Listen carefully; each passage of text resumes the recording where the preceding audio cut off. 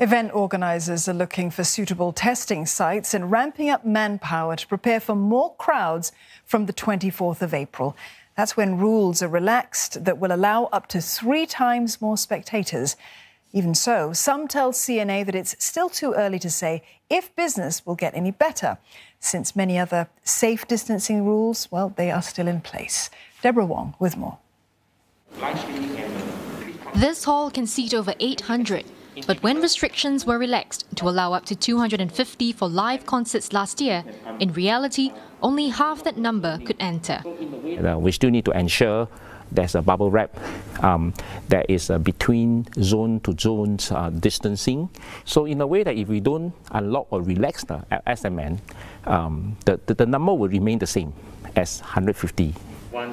It will be the same situation when up to 750 will be allowed next month with pre event testing. Organisers also say not all may want to pay for such tests.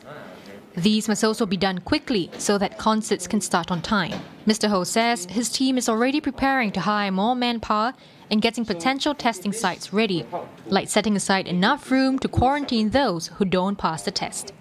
Meantime, ticketing service provider SISTIC says for events with 250 people and above, its system already allows registration for COVID 19 tests. It says it'll next work with authorities to include proof of vaccinations and test results in digital tickets to help speed up admission.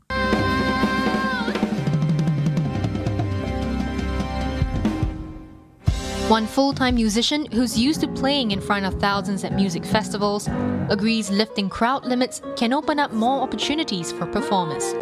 But it won't be easy, as long as live shows are still banned in small establishments.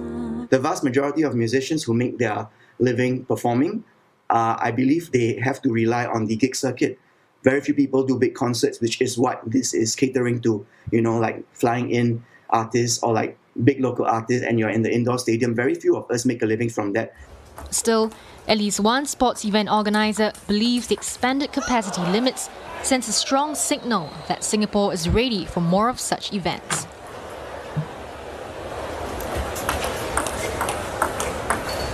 I think any sports organization would be keen to work with um, whatever requirements are, are, are placed because um, sport without spectators is is not really sport. So um, I think you know there would be a discussion between both parties around um, cost and implementation.